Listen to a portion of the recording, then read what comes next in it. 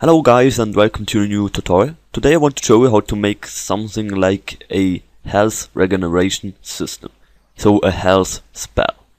For that you have to go into Kismet, whoops, into Kismet, right click, new event, input, key button press, because now we want to add a key.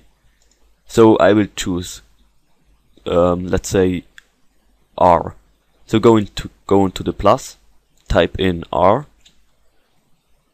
then right click onto the input name, create new string variable, and type in at str value R and var name R. Okay. Now right click, new action, actor, attach to actor. Because now we want to attach our particular system to the actor. So connect the press the in and go into your content browser. Here you have to choose any particular system you like just place it near the player start or exactly to the player start. We'll do that now.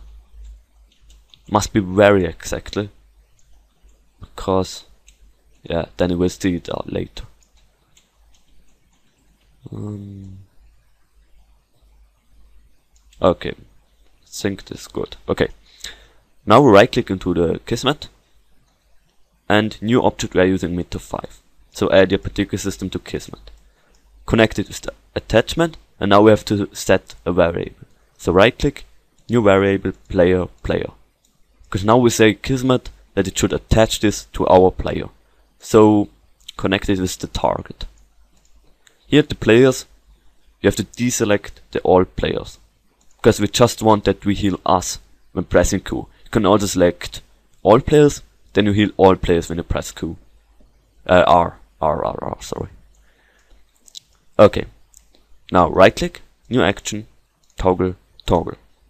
Connect the out is the turn on and the target is the emitter system. So now this is the particular system. So when we press R, a particular system will appear. Now we have to double click onto the emitter or to the particular system and deselect the auto activate and try it out.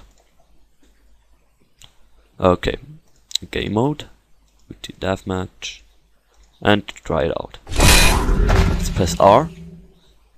You see nothing happens. Okay, then we have to choose another key. So we'll choose Q. This here, this here, and try it out. And now we see it appears. Let's do behind view. Whoops. Behind view. And here it is. It's a little bit behind us because our particular system in the in the editor window is also behind the player start a little bit. So have to place it more exactly to the player start. Do it like this here. Put it a little bit up and try it out. Okay now it's here. Now it's directly on the player. Okay that's good now we'll add the health so go into Kismet, right click, new action, actor, modify health. Connect this with the pressed, and the target is the player. Now click onto the modify health, and here you can choose your amount. So let's say 5. And here the heal, and you have to select the heal. So this here. Okay, now when you press Q, it heals us 10 health or 5 health to the player. Now we have to copy this. Let's say three times. Connect out is the in. And put in a delay. Because we want that it heals us the health in let's say 2 seconds. So every 2 seconds we get 5 health. To do that, click onto the out, right click, um, set active delay and type in 2. And here type in 2. So now every 2 seconds it, held, it heals us 5 health. Okay. Now click on the to the key button pressed. And here at re-trigger delay, you have to choose your re-trigger delay. So let's say 5 seconds. So in 5 seconds we can press this key again and we, we get the health again. Okay. Now I will make a little trigger.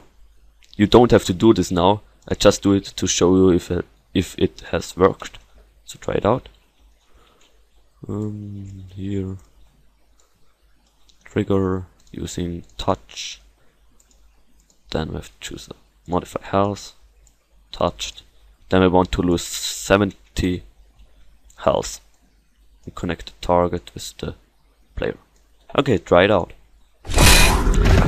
Now we lose the house. 30. Now we press Q. And you see? 35, 40, 45. Now 5 seconds are gone. And I can press it again. 60. You see, it is a little bit away.